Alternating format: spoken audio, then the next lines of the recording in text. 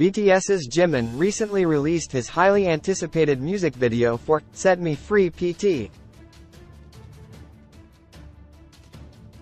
2, a pre-release for his solo debut album, Face. Although the song itself received some mixed reactions, there's no denying that fans were in absolute awe of the artistic music video. And captivating choreography. Fans had high hopes for the choreography for Set Me Free PT. 2, given Jimin's incredible dance skills, and were far from disappointed. So it wasn't a surprise to fans that choreographer Sienna Lalau and the lab had been involved in creating the choreography. As one of the songs Sienna Lalau has choreographed for BTS is, On. The parallels in the choreography made even more sense to fans.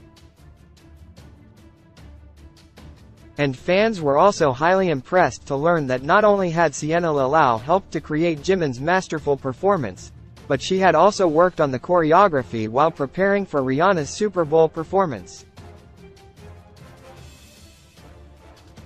Sienna Lalau has spoken about her experience working with BTS in the past, praising their inspiring work ethic.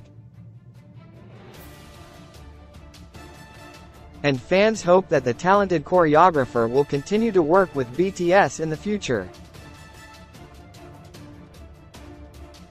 You can read more about Sienna Lalau here. You can watch the choreography for Set Me Free PT. 2 inches here.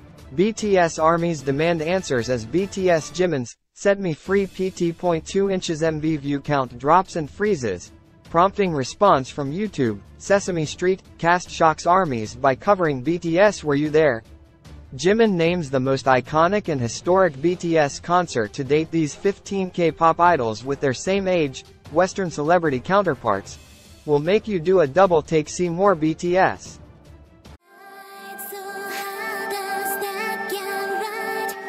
If something goes wrong, get home on a hurt.